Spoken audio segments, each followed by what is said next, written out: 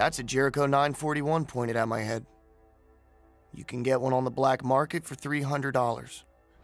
Yeah. It is a very reliable weapon. My name is David Packouz, and I'm an international arms dealer.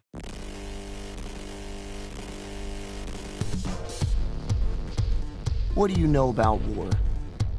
They'll tell you it's about patriotism, democracy, or some shit about the other guy hating our freedom. But you want to know what it's really about? What do you see? A kid from Arkansas doing his patriotic duty to defend his country? I see a helmet, fire retardant gloves, body armor, and an M16. I see $17,500. That's what it costs to outfit one American soldier. Over 2 million soldiers fought in Iraq and Afghanistan.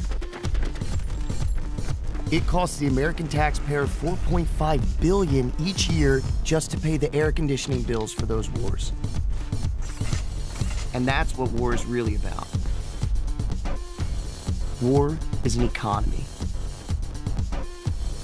Anybody who tells you otherwise is either in on it or stupid.